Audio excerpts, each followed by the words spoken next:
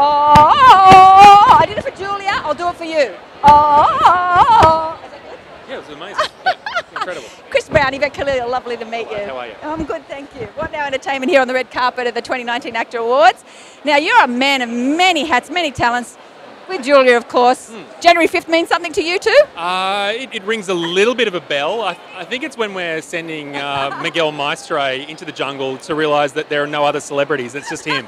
Yeah, you're scraping the bottom of the barrel. Is that what happened? It's basically we just watch the the un, unraveling of a man.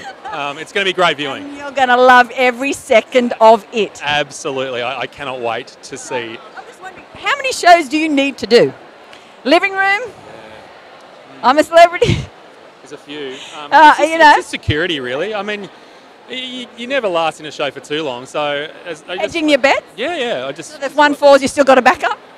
If there's there's got to be one behind it if one falls over. So, you know, it, it may may indicate severe insecurity, but we'll see. No, you're good at what you do. That's why you're so popular and stuff. Love love your work. But Julia was laughing at me when I did that to get her over here. So Right? Yeah. Well, you see, it's a mayhem. It's like a jungle on this carpet at the moment. It's exactly like a jungle. I mean, if if only um, South Africa, where we send the celebrities, was like this. Now I asked Julia, can you do an impression of any of the animals since you've been there for a while? Um, I uh, I can. Yeah, yeah, yeah.